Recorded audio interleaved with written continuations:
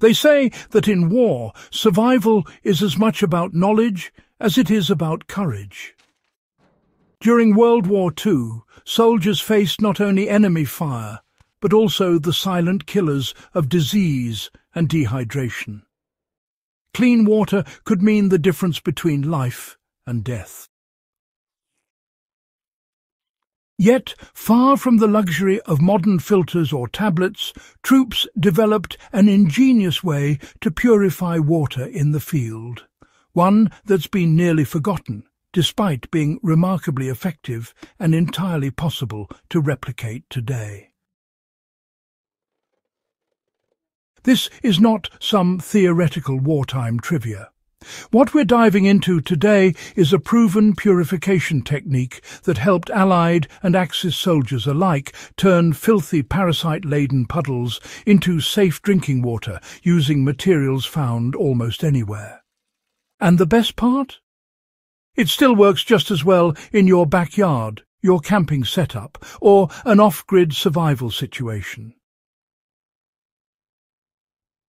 So, if you ever wondered how people managed to drink safely before chlorine tablets and UV pens, stay tuned. This is history you can actually use.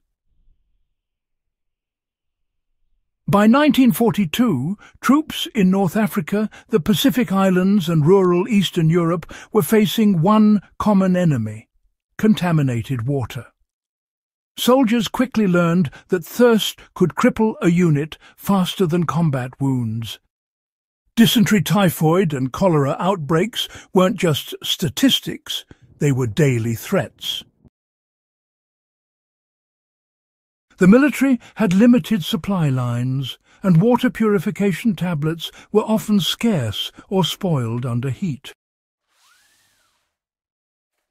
Out of necessity, Soldiers resorted to a field method known simply as sand filtration and boiling with charcoal, a clever adaptation of basic chemistry and physics, using nothing more than sand, gravel and charred wood. It wasn't glamorous, but it worked, and it saved lives from the Sahara to the jungles of Burma. Here's what soldiers did. First, they dig a small pit near a water source, never directly in it, but close enough that groundwater would slowly seep through the earth.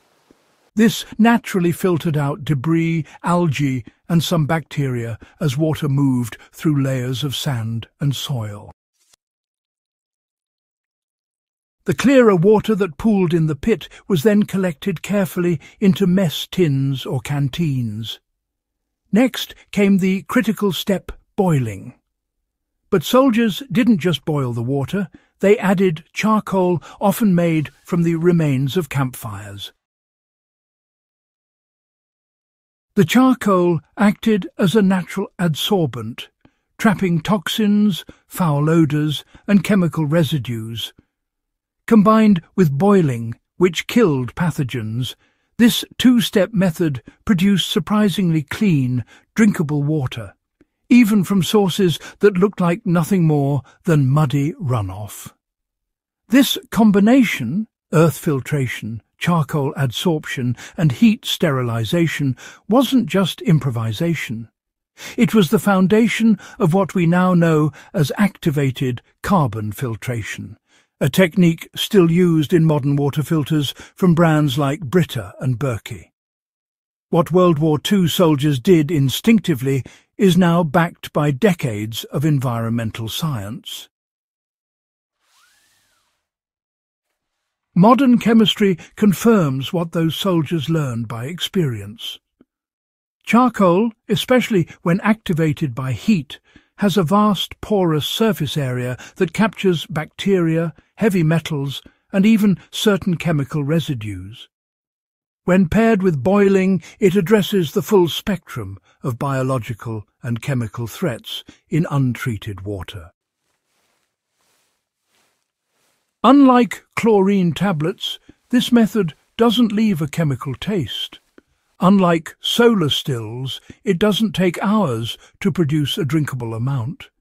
And unlike complex filters, It requires no replacement parts or specialized gear, just soil, sand, heat and burned wood.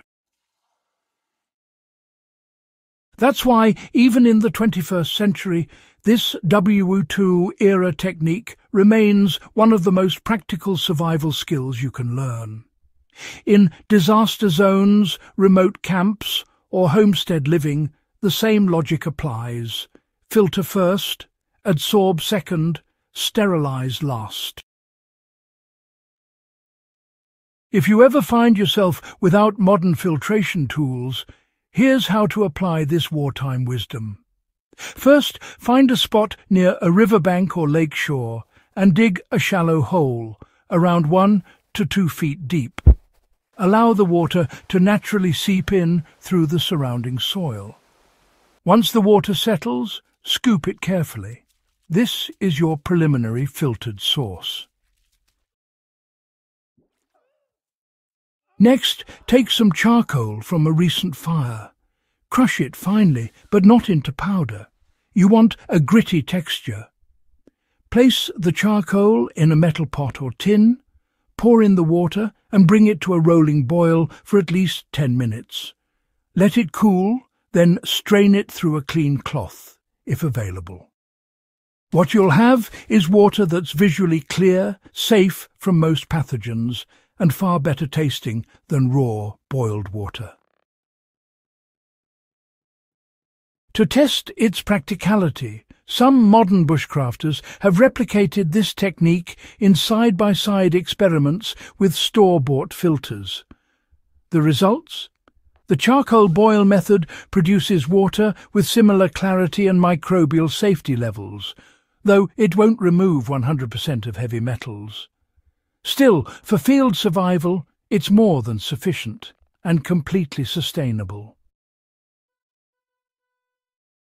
It's fascinating that something born in the chaos of global war still holds value in our modern, comfortable lives.